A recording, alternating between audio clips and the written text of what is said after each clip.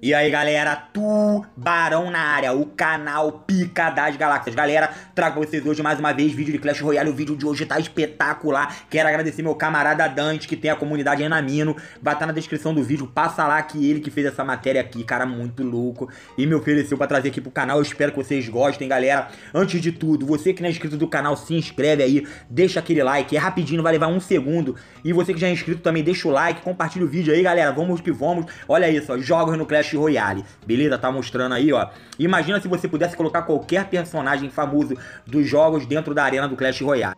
Imagine o Mario, o Sonic, o Scorpion, o Link e vários outros a seu dispor. Entendeu? Então vamos parar de imaginar e colocar em prática este sonho. Vamos lá, ó. O Mario.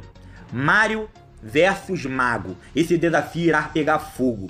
O Mario irá atirar suas bolinhas de fogo no inimigo de média distância. Ele seria uma ótima opção para defesa ou para ficar atrás de tropas tanques. Ele não vai salvar a princesa dessa vez. Aí aqui tá a cartinha do Mario aí, ó. Seria uma carta lendária, 2 de elixir. Mario ficou cansado de salvar a princesa e decidiu se aventurar nas arenas do Clash Royale. Ele não quer mais saber de entrar no cano, galera, pelo cano. Muito top aí, olha isso. Então vamos aqui no link, beleza? Ó, recriando o famoso pulo do Link. Link seria a primeira tropa do Clash Royale com três equipamentos ao seu dispor. Um de defesa, que é o escudo, dois de ataque, que é a espada e o arco e flecha. Ele seria um personagem híbrido na arena, tanto poderia atacar ou defender. Contudo, seu custo de elixir é alto, se comparar ele às arqueiras ou ao Príncipe das Trevas. Porém, ele une as características de três personagens: arqueiras, pois ele atira as flechas, Cavaleiro, pois ele ataca com a espada e também se compara ao Príncipe das Trevas porque ele tem o seu escudo. Ele seria uma carta lendária é perigoso e sozinho. Pegue isto. O portador da Triforce e da Coragem, mestre em utilizar todo tipo de arma, nunca chame este Oreudo de Zelda. Ele odeia. Mega Man. Mega Man versus Bárbaro dentro do circuito do jogo. Mega Man seria uma tropa diferente de todas as demais do Clash Royale, pois ele poderia copiar o ataque dos inimigos. O feitiço volta contra o feiticeiro. Exemplo, Mega Man pode copiar o ataque do mago elétrico, o do tiro da mosqueteira, o golpe da bandida e etc. Ele seria uma carta épica. Olha isso, ó. vamos ler a descrição. Mega Man, o robô azul que sempre estraga os planos malignos de Willy. Ele possui a capacidade de copiar os poderes dos inimigos. Seria custar 4 de elixir, muito top. Olha, o Donkey Kong. Nunca roube as bananas do DK. Donkey teria a mesma função do lançador. A diferença dele é que para o lançador é que o lançador joga as pedras em formato de bola de boliche. O Donkey joga barril igual no jogo. Donkey Kong contra. Olha isso, ó. Donkey tá aí, ó. Seria uma carta rara, né? Jogue barril em seus oponentes. É a sua obrigação. Comer banana é a sua paixão. Muito top. Imagina a galera ter essas cartas no jogo. Pô, você poder criar o personagem botar na batalha. Claro, isso daí nunca vai ter, mas é só um modo de mostrar pra vocês. Quem sabe a Supercell aí compra os direitos de alguns jogos aí, tipo Sonic, jogar na batalha aí na arena junto com vocês, seria massa. Então vamos, vamos falar do Sonic, Sonic versus esqueletos.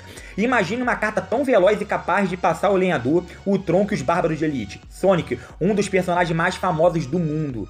Sonic seria um feitiço para aproveitar o seu ataque mais famoso, o Spin Dash, ataque fatal de alta velocidade, capaz de quebrar barreiras ou até vencer inimigos. O Spin Dash do Sonic se compara ao ataque do tronco, no quesito limpar tropas terrestres. Ele só iria parar de girar ao bater na torre. Muito top, seria uma carta lendária de custo de, de 3 de elixir. Um gato, um porco espinho, não confunda o ouriço mais veloz do mundo com qualquer animal. Pois se ele ficar nervoso, com o Spin Dash, ele irá atacar. Muito louco, muito top. Agora nós poderemos aqui, ó, o Scorpio. Scorpio e sua corrente já são bem conhecidos no mundo dos jogos. Quem joga aí Mortal Kombat sabe muito bem do que a gente tá falando aí, ó. Scorpion disputando com a arqueira. Scorpion atacaria com sua corrente de longe, sendo um ótimo suporte. A velocidade do Scorpion é baixa para acompanhar os tanques como Golem e Gigante Real. E Gigante também, né? Até a P.E.K.K.A, que são os tanques que tem ali. Olha isso, ele seria uma carta rara. Scorpion confundiu o Mago de Gelo com o Sub-Zero. E agora? Quem poderá deter a corrente deste poderoso combatente? É muito top, 3 de Elixir também. A Hora do Vilão. O vilão da primeira parte da série é o Bowser. O Bowser colocando medo nos Goblins, como tá na figura aqui, beleza? Aonde o Mario tá, o Bowser vai atrás. Bowser chegou destruindo tudo no Clash Royale. Possui um bafo de fogo com a mesma potência da bola de fogo. Sua vida é equivalente à do gigante. Ele ataca de longe com seu bafo de fogo. Geral vai se queimar. Muito louco, muita ideia, muito top. Tá de parabéns, Dante. Mitou, mitou mesmo. Olha isso, ó.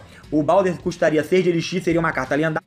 O Bowser é o rei dos copas pretende ser o novo rei do Clash Royale, com suas bolas de fogo e seu terrível hábito de raptar princesas o rei de Royale corre perigo. Impressionante, galera. Será que o Bowser vai sequestrar a princesa? Deixa no comentário de...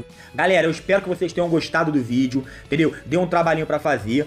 O Dante demorou um tempinho para poder executar, elaborar muito bem essa história para vocês aí. Beleza? Ele tem a comunidade Unamino lá que ele faz parte, vai estar tá na descrição, passa lá. Você que ainda não é inscrito do canal, se inscreve aí, dá aquela moral, marca o likezinho ali rapidinho, não vai levar nem um segundo para se inscrever e deixar o like, beleza? Você que já é inscrito também é a mesma coisa, deixa o like aí. E para essa série continuar, galera, vamos precisar muito do feedback de vocês, beleza? Conto com o apoio de vocês divulgando pra geral. Tamo junto, abração. Foi!